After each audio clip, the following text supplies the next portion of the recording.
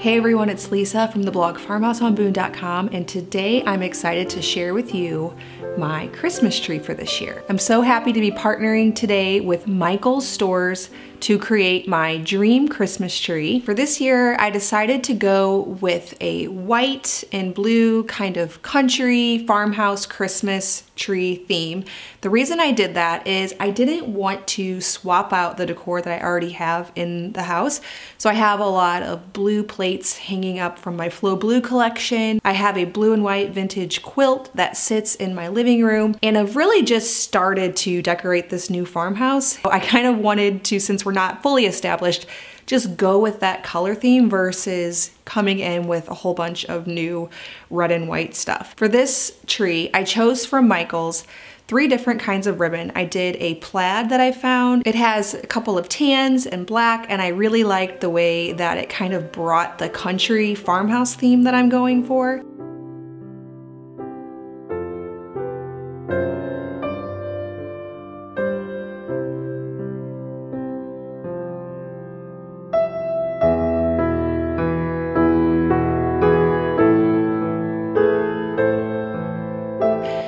Also found a navy blue velvet ribbon, which I thought was just so pretty.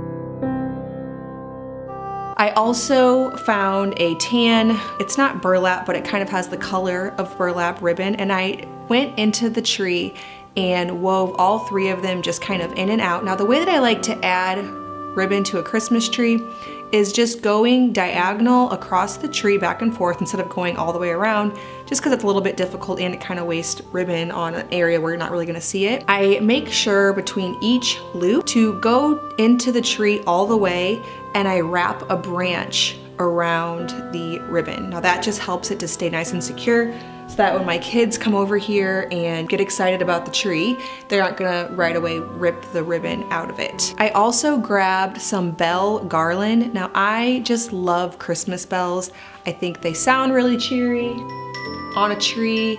I also think they're really pretty. I liked the brass goldish color of these. I grabbed three of those garlands from Michaels and I just wrapped them around after I did the ribbon.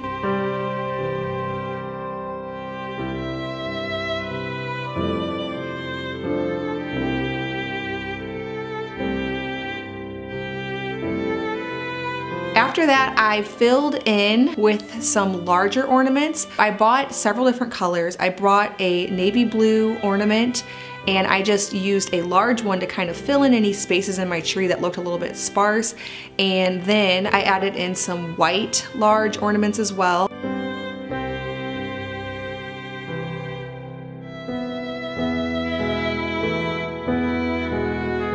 and then a few sparkly gold ornaments just to kind of give that Christmas whimsy. Then I took some flocked Christmas branches that I found in the Christmas floral section at Michaels. They look like they have snow on them and they have pine cones and I really love that natural element and then the white. So I took about four of those larger Christmas florals and I cut them down and just added sprigs throughout the tree to give it a little bit of that snow and natural pine cone look throughout the tree. Also brought in some snowflake ornaments. I found these in the wooden craft section. Actually, my girls were wanting to paint some ornaments, so we were over in that section and I found these almost chalk paint looking snowflakes that I thought would look perfect with my tree. So I added about five of those in and then I did a few DIY ornaments. So as I was walking around Michaels, I saw a few things that I thought would look really cute. So first of all, I found some picture frames and I printed off some photos that I actually took last January when we first moved into this house and it snowed all over this property. Well before we had anything fixed up, I snapped some photos of the property, the barn, and the little cottage in the snow, and I thought those would be really pretty to put into those frames to kind of remember our first Christmas here. And I printed off some 4x4 inch pictures because that's the only size I could find, and I cut them down to the 3 inch size and then just hot glued on a little bit of jute twine and added those to the tree. I did three of those. So I just kind of tried to space them out throughout the tree so that they're not all in one area. It adds a nice geometric shape and color and then also a nice memory to this tree.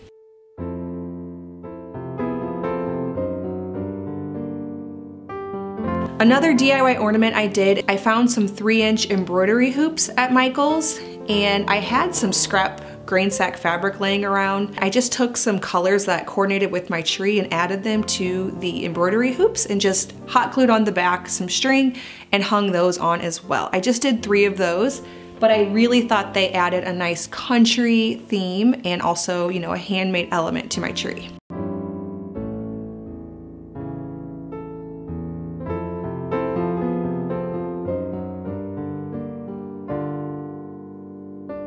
I also added in some more pine cones that I found at Michaels just to bring in some more of that natural feel and add a nice wood color. For any of the ornaments that I felt like weren't super secure, I just took and wrapped the branches of the tree around the hanger and that just gives an added level of security. It also helps for you to kind of be able to arrange things. So with the bells, sometimes I wanted the bell to come a little bit higher so it would go above an ornament. I just took a branch above and wrapped it around the jute twine that it came on and that helps to make the bells sit where I want them to. All right, well I hope that my Christmas tree design that I did this year with Michaels gives you some inspiration and ideas for you this Christmas season. I know I came with this tree super early, but that's so that I can give inspiration before you go and design your tree. Make sure to check all the links in the description below. I'm gonna leave all the sources for the products that I purchased for my tree so that if you wanna recreate a country, farmhouse, blue and white themed tree like this one, you can. All right, well, thank you so much for watching this video. If you're brand new, please hit that subscribe button. There's going to be a lot more Christmas coming here. I'm going to be hopefully getting around to decorating the rest of the house and sharing that on here, especially after the kitchen renovation is all done. Thanks again to Michaels for sponsoring this video. I had so much fun creating this tree. This was kind of a dream project for me to create my dream tree and I really hope that you enjoyed the inspiration. Thank you so much for stopping by the farmhouse.